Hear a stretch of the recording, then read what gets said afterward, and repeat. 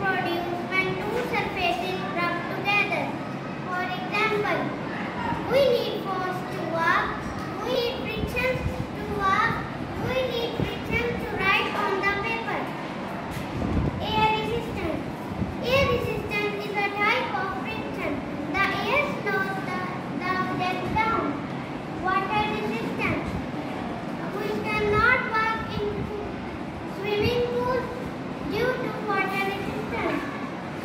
Thank you.